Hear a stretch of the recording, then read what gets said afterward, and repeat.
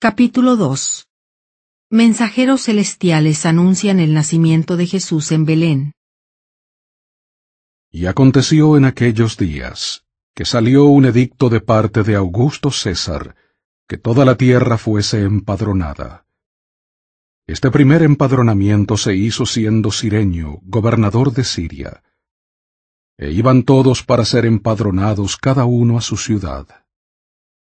Entonces subió José de Galilea, de la ciudad de Nazaret, a Judea, a la ciudad de David, que se llama Belén, por cuanto era de la casa y familia de David, para ser empadronado con María, su mujer, desposada con él, la que estaba encinta.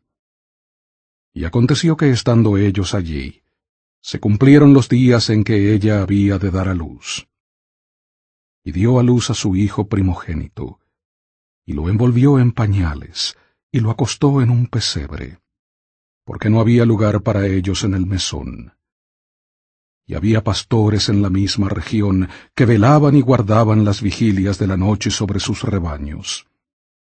Y he aquí se les presentó un ángel del Señor, y la gloria del Señor los rodeó de resplandor, y tuvieron gran temor. Pero el ángel les dijo, No temáis porque he aquí os doy nuevas de gran gozo, que serán para todo el pueblo. Que os ha nacido hoy, en la ciudad de David, un Salvador, que es Cristo el Señor. Y esto os servirá de señal. Hallaréis al niño envuelto en pañales, acostado en un pesebre. Y repentinamente apareció con el ángel una multitud de las huestes celestiales que alababan a Dios y decían, Gloria a Dios en las alturas, y en la tierra paz, buena voluntad para con los hombres.